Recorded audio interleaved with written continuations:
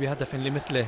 وعلى الرغم من تقدم المنتخب الأحمر بهدف لبوراك يلماز في الدقيقة الثانية وستين إلا أن زملائه لم يتمكنوا من الحفاظ على ذلك فاهتزت شباكهم بعد تسع دقائق بهدف من دانيال بود بعد خطأ دفاعي قاتل ليرتفع رصيد المنتخب